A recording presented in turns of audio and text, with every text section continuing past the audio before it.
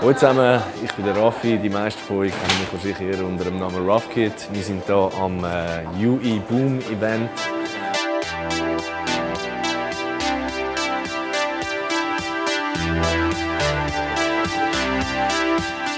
Und ich habe in den letzten Tagen ein Bild gemalt, das jetzt noch ein bisschen weitermachen wird, ähm, das sich mit dem Thema befasst. Und ich hoffe, euch gefällt. Mal schauen.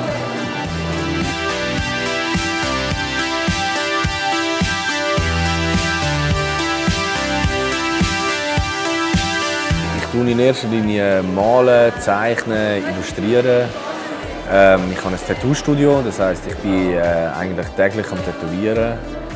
Ich habe eine Brand, Kleiderbrand, ähm, mit einem guten Freund zusammen, äh, wo wir irgendwie Kleider herstellen und vertreiben und äh, ich fotografiere. Äh, jede einzelne Sparte äh, beinhaltet etwas, das der andere fehlt. Und das ist ja irgendwie das Schöne am Kreativschaffen. Man muss sich nicht begrenzen und sagen, ich bin jetzt einfach der, der das und das macht, sondern man darf durchaus ähm, sich auf verschiedenen Ebenen ausleben und das einfach irgendwie geniessen. Für mich gibt es nicht die eine Inspirationsquelle. Es ist irgendwie alles und, und nichts gleichzeitig.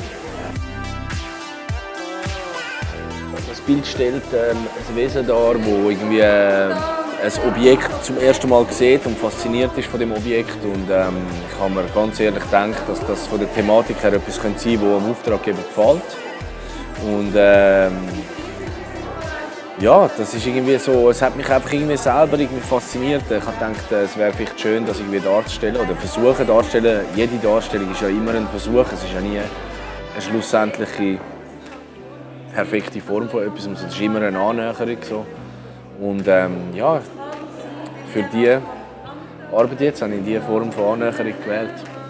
Wie ist es zum Hype um die Kleider gekommen? Ich glaube, ich glaub, wir, haben, äh, ich glaub, wir haben das vor allem zur richtigen Zeit gemacht. Ich glaube, das ist Timing, aber das ist nicht immer bewusst gewesen. Ich kann nicht sagen, das ist ein bewusster Act gewesen, wo wir das Gefühl haben, jetzt braucht es das mega fest.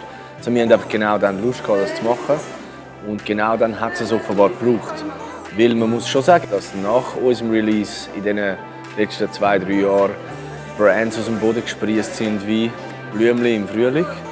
Und vorher hat es das halt nicht so in diesem Stil gegeben. Und ähm, ich glaube, dass wir einfach zur richtigen Zeit am richtigen Ort waren. Für mich macht ein guter Künstler aus, also das tönt, äh, wenn jemand Arbeiten macht, die die Leute in irgendeiner Art und Weise berührt oder bewegt. Eigentlich es ist wie ein Buch. Was macht ein gutes Buch aus? Ein Buch, das dich packt, ist ein gutes Buch. Ein Buch, bei dem du einschlafst, während du es liest am Nachmittag um zwei, findest du wahrscheinlich nicht so gut.